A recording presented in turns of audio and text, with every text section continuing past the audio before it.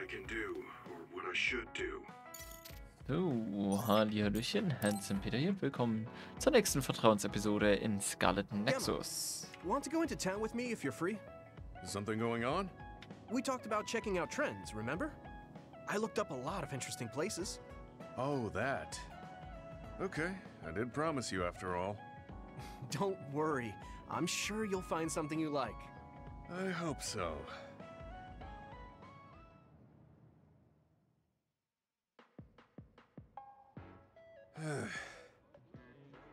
Are you alright? Give me a little time to gather my thoughts. That was a lot to take in.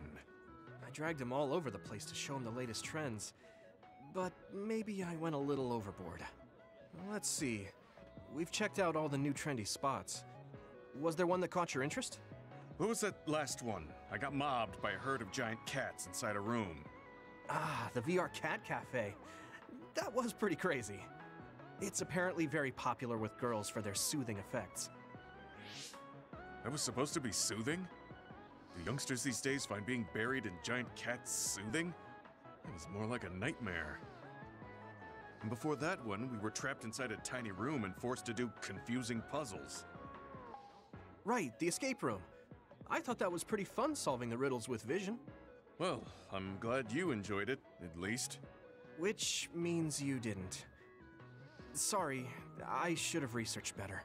No, I'm sorry to be complaining so much. It's not your fault. I just don't know how to enjoy them. I had no idea that amusement had changed so much. This is much different from the era I'm familiar with. To be honest, I can't keep up. I see. I'm sorry. Maybe we can grab something to eat to salvage the day. Alright, but what to eat? I don't really eat here that often. They have a lot of different kinds of dishes here. What do you usually like to eat? Hmm. I'm not really very particular about my food. I guess I like gyoza if I had to choose. Gyoza. Oh, they have some interesting looking gyoza here. A new and popular dish the chef recommends. That's so. I don't really have a good feeling about it, but we came here to check out what's trending among the young people after all. You don't need to force yourself. It's okay. I've made up my mind. Let's do what we came here to do. Thank you for waiting. Here's our restaurant's special variety gyoza platter. Please use any combination of these 10 sauces. Enjoy! What? What is this? Green, yellow, red, black. Are these supposed to be gyoza? Uh, seems like these are the restaurant's original gyoza. Apparently, they all have different fillings. Their shapes are just as strange as their colors. I see a round one, a square one, and this one has spikes. Is this what gyozas have come to in this day and age? I can't believe how much the food I once knew has changed. Hmm? Well, they look weird, but they actually taste really good. Why don't you try one? Eat this? I'm not thrilled about it, but I can't stand here and waste food. All right. Hmm. You're right. This doesn't taste bad. It's not what I'm familiar with, but it's interesting. I'm glad you like it. Yeah, they look weird, but you can't know until you eat them. Maybe I was too wary because they seem strange. Pretty delicious. If you can appreciate these, that means you learned how to enjoy one of the latest food trends. Hmm. Just because these gyozas happen to taste good doesn't mean I've learned to adapt to this age. I think your ability to appreciate them is important. That you were able to get past the way they look. You may have a point. At the end of the day, people still enjoy the same types of things. Even if those things may have changed. Yeah, exactly. I may have failed choosing good spots for you today, but I had fun checking them out together. I wasn't able to enjoy the newest trends, but I did have fun walking around the city. I felt behind the times every time I experienced something new. Time may pass, but our true nature remains constant. Just that our perspectives may have changed. Mmm, that hit the spot. Thank you for the meal. You're finished eating already? You must have really liked those. This might be my new favorite food. I guess trying new things isn't so bad. Well, let's do this again sometime. That's fine with me, but please, no more of that cat cafe. I don't dislike cats, but it's unsettling when they're that large. Uh, sorry about that. Okay, we won't go there again. It seems part of it was a little too much for him, but I'm glad he ended up enjoying himself overall.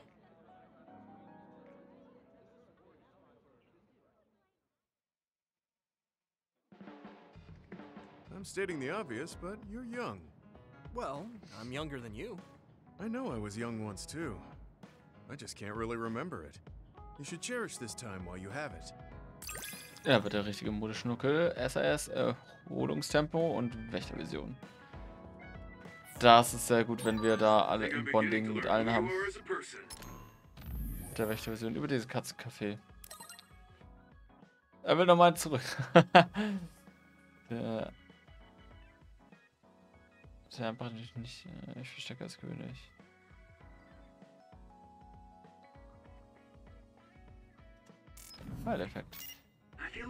about you too. So, bevor wir jetzt mit der Hauptstory weitermachen, klar, neue Objekte. Für alle gibt es mittleres Gelee. So viel Kohle haben wir aber gar nicht. Der Gewichtshammer. Was man kaufen kann. Oder Erholungsunterstützung.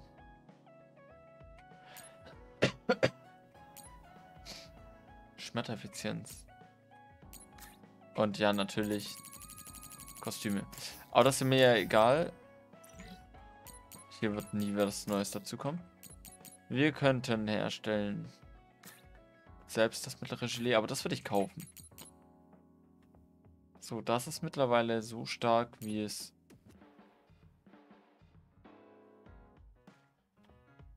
Oho, Moment. Das wäre 22 stärker.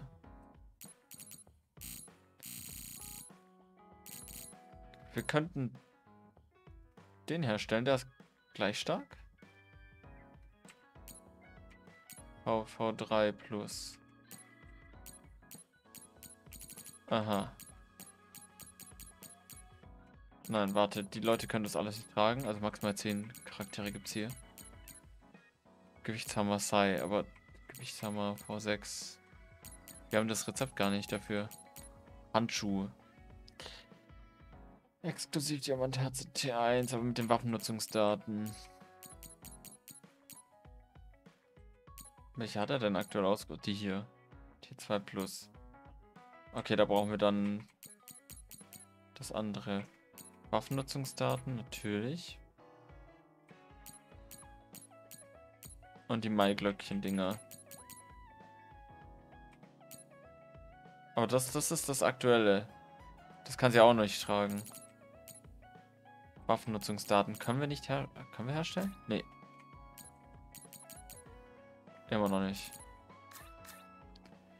Geschenke gucken wir uns gleich an. Kostüm ist mir safe, da ist auch noch mal was Neues dazu, aber äh, das ist way too much. Ich gucke das auch gar nicht mehr an. Gibt's neue? Ja. Gönnerantrieb beschleunigen. Wiederbeleben Erholung. Das Erdung während des. Oh. Nochmal 50 Prozent.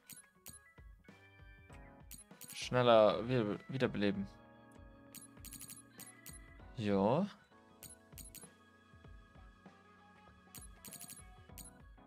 Okay, klingt gar nicht so blöd. Waffenobjekte, Kampfdinger. Wir gucken uns mal die Geschenke an. Das hier sollten wir zweimal herstellen, weil zwei Leute lieben es. Wir haben es noch keinem geschenkt. Das haben wir schon geschenkt. Das. Oh, das. Achso, es gibt auch rotes Herz. Dann wir brauchen den verlassenen Tunnel Umwelt A. Und mit so. Ich glaube, wir müssen einfach mal so random in die Gebiete reingehen. Stapel alter Bücher. Können wir ihr schenken. Heldenfigur. Ja, davon können wir einige herstellen. Das haben wir alle schon bekommen. Das können wir nicht machen. Auch nicht. Was können wir denn überhaupt machen? Nichts mehr. Das sind die ganzen DLC-Dinger. Okay. Ja gut, dann bin ich dafür, dass wir einmal das, das ähm,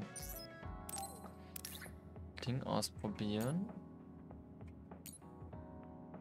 Du kriegst deinen Squash-Schläger. Ja, mit zwei kleineren Geschenken könnten wir die Vertrauensstufe mit ihm erhöhen.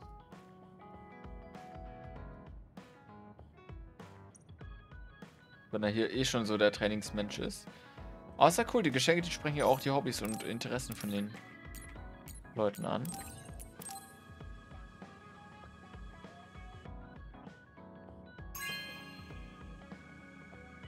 This is very nice. This is very nice.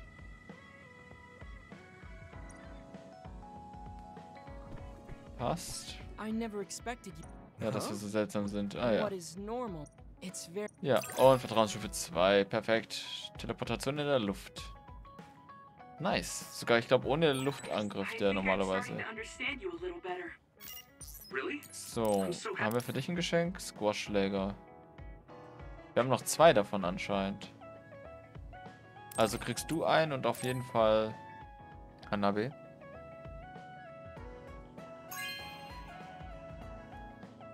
Anscheinend spielen alle Squash hier. Ich könnte mir ein Team zusammenstellen.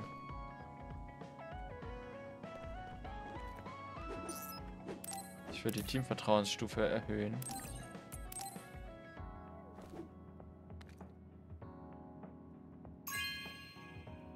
Na, mittlerweile steht auch mehr Zeug hier rum.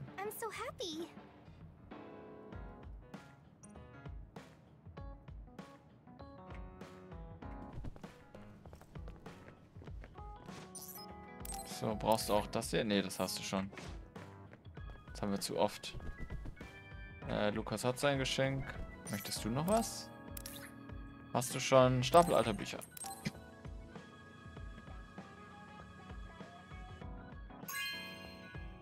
Ja, gönn dir. Okay.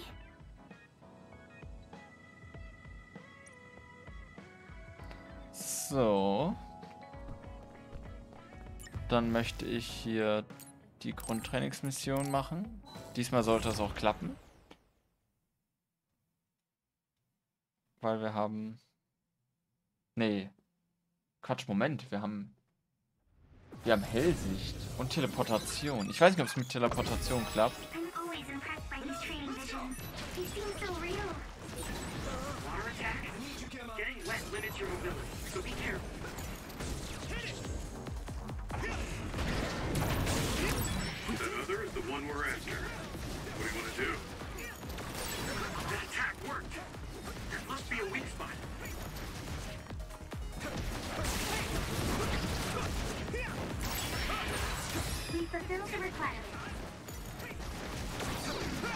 Einen Levelaufstieg. So, ich weiß nicht, wie das... Es könnte, es könnte klappen.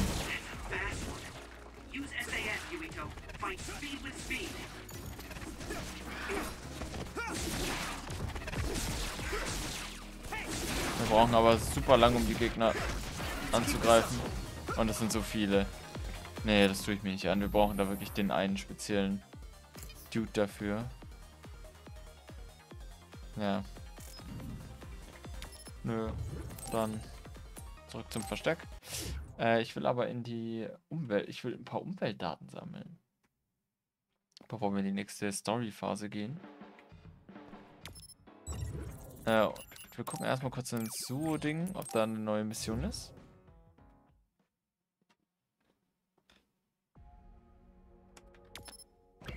Ja, eine. Eine.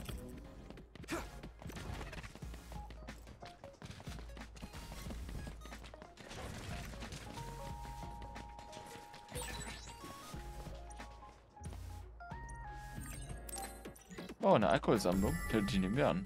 Trainingsdrang.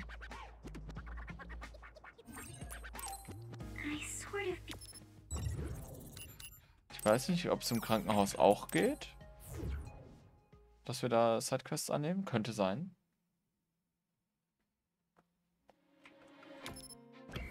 Ja, tatsächlich. Okay.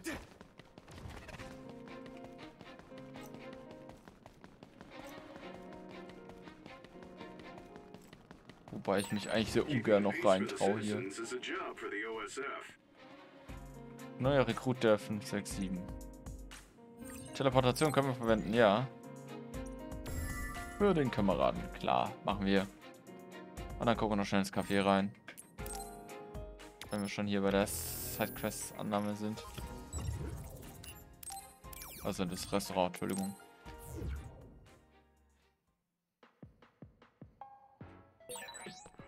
Jo, das sieht doch nach zwei Missionen aus, oder? Große Schwester. Luxusöl. Klar.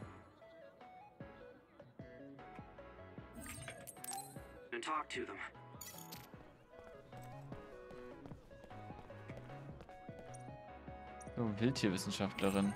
Oh, und die gibt uns so Zeug. Na toll.